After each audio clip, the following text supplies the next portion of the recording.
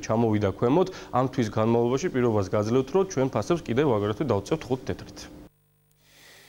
ცხოველებს бенზინის გაძვირება არ მოსწონთ, თუმცა როგორც თავად ამბობენ, საწვავის მოხმარებას ვერ ამცირებენ და მაინც იმდენს ყიდულობენ, რამდენსაც ადრე.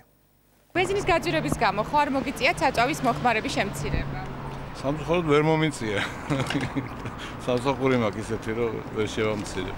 თუმცა ჯიბეზე სერიოზულად აკონტროლებს რა თქმა უნდა. პრინციპში არა, იმიტომ რომ რასაც მოვიხმარდით, ისე ვიგივე, ისე კარგი იქნება თუ გაიაფთება. ვერ შეამცირებ უბრალოდ, ღონა ემოძრა. არა, უბრალოდ მჭირდება ხშირად. არა. თუ მჭირდება და მაინც მასხმარებ. ბევრი არა, მაგრამ მაინც ასეთი განხარჯება ცოტა ინფორმაცია. რა თქმა უნდა, უკმაყოფილოა. ძალიან ძვირია. როგორ მიაღწიოს მომხმარებელმა, რომ საწვავი იმდენი იყიდოს, რამდენი სჭირდება და მაინც ნაკლები დაეხარჯოს. ამ თემაზე გერმანული ჟურნალის ავტობილდის ექსპერტებმა იმუშავეს და ყველა საფასო სეგმენტში ყველაზე ეკონომიური ავტომობილების სიები შეადგინეს. სამწუხაროდ, ქართულ ბაზარზე ამ სიებში მოხვედრილი მოდელების მხოლოდ ძალიან მცირე არჩევანი აღმოჩნდა. გერმანელი ექსპერტების რჩეული 70 მოდელიდან ქართულ სალონებში ჩვენ მხოლოდ რამდენიმე ვიპოვნეთ, ისიც მხოლოდ ერთ საფასო სეგმენტში 10-დან 15000 დოლარამდე, როგორც ჩანს, ქართველი მომხმარებელი ძირითადად სწორედ ამ ფასად ყიდულობს ახალ ავტომობილებს. ავტომობილებს. გერმანულმა ჟურნალმა ავტობილდმა ყველა საფასო სეგმენტში ყველაზე ეკონომიური მანქანები გამოავლინა, მათ შორის რამოდენიმე საქართველოს ბაზარზეც არის და მას ეხლა რამდენად კომფორტულია პირადად გავტესტავ.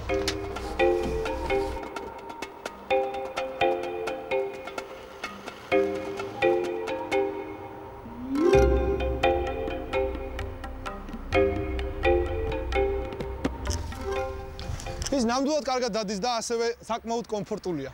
Kia Picanto Kia-ს ცენტრში ყველაზე ეკონომიური მანქანის სტატუსით სარგებლობს. 1200 კუბური სანტიმეტრი ძრავის მოცულობით, ასევე 109 ცხენის ძალა აქვს და საშუალოდ 100 კილომეტრზე 6 ლიტრს საწვავს წვავს.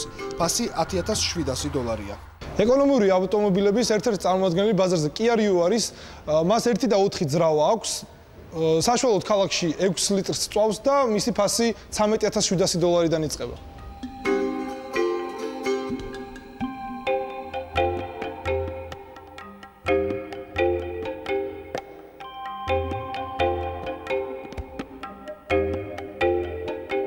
ავტობილდის ყველაზე ეკონომიური მანქანების სიაში ერთი საფასო საფეხურით მაღლა Hyundai აქცენტი დგას. იარლიხზე 14100 დოლარით. ამ მოდელის ფასი სხვა ეკონომიური მანქანებთან შედარებით რამოდენიმე 1000 დოლარით მეტია, მაგრამ ფასთან ერთად შესაბამისად მისი კომფორტულობაც მაღალია. ავტობილდის ექსპერტების მიერ შედგენილი სიიდან ქართულ სალონებში კიდევ მხოლოდ რამდენიმე მოდელს თუ ნახავთ. ოღონდაც ამ დროისთვის ისინი სტოკში არ აქვთ, თუმცა მეორედ ბაზარზე არის Nissan X-Trail დიზელზე და Mercedes E200 ასევე დიზელზე. თუმცა იმის მიუხედავად თუ რა მოდელის ავტოს მართავთ, საწვავის ეკონომია მაინც შესაძლებელია, თუ კი მართვის შესაბამისი ტექნიკა იცი. გერმანელი ექსპერტები რჩევს ამ კუთხითაც გთავაზობენ და მათ ახლა შალვა ბუაჩიძე ჟურნალ ავტობილდის მთავარი რედაქტორი გეტყვის მოგესალმებით. ნუ ერთი უნივერსალური